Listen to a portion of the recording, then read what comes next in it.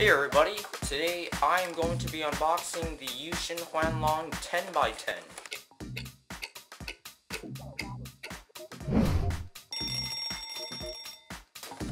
Now, I just unboxed the 9x9 in a previous video and it felt pretty big in my hands. So I'm expecting this also to be pretty big in my hands. Well, let me open it. This stuff is always hard to get out. And jeez, let me put the box away. Put this away. First thing, like the 9x9, it's heavy. Second thing, these stickers are extremely off. So I might, I want to fix that right now actually. The yellow side looks stickered pretty badly. Actually not pretty badly, very much badly. And I'm actually not spotting a lot of bubbles. This thing is huge. It turns pretty smoothly though. The middle layers move as you turn the outer layers, which I guess should happen. This thing is so big.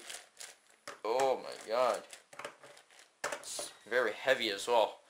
When you're solving this, you might want to put it in your lap or something. But, I'm going to fix this sticker issue.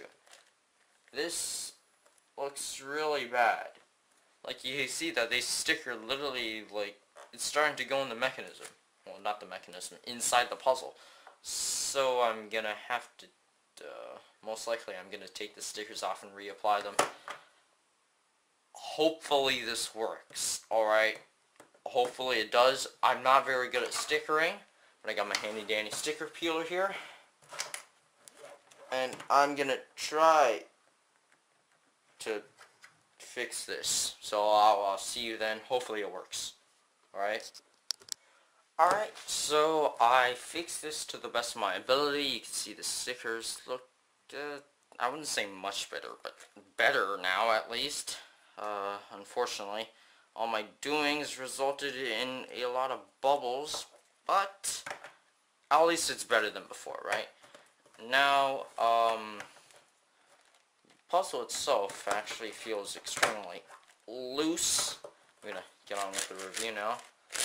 But the initial turning is really smooth, actually.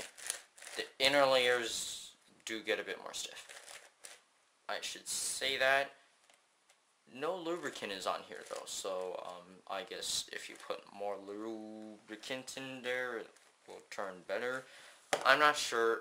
I don't understand lubricant, and personally, I don't really understand the concept of, you know, lubricating the core besides really um, making the hardware better. Like, like um, you know, the spring rubbing against the screw just put a little lubricant here. I always thought it was like that, but then Lubicle, sorry, Lubicle Black actually changed my opinion on that. And I really wonder how it works. I never got my hands on Lubicle Black. It's not released yet.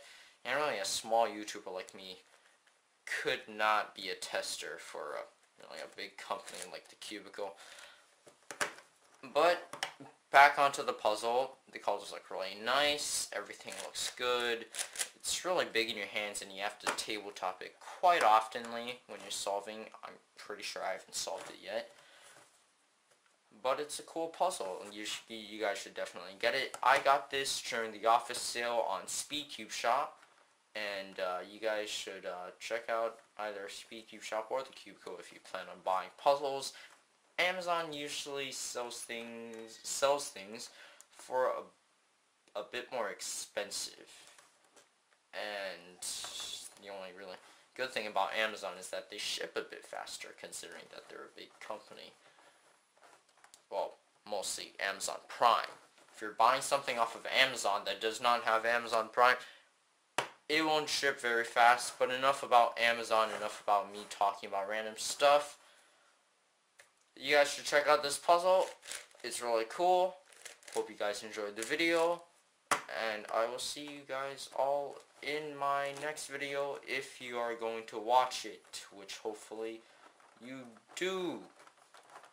I will mention though that this turns a bit, uh, you know, stiffer than the 9x9. Let me try to do this nice little pattern staircase thing on here. Ooh, this looks cool. I wonder if this can stack up from uh, the uh, Chi line of puzzles. You can look at this from a side and it looks really, really cool. But this is the 9x9, this is the 10x10. These are all great puzzles. You guys should get them if you want a higher order puzzle. I think they're better than the ShengShou ones. Don't know what you guys think. Because considering I have a 7x7 ShengShou puzzle, and I should say that this actually turns smoother than that. Just to give you guys an idea. But, uh, enough about me talking. Go get some fresh air. Go outside. Stop watching YouTube. Bye.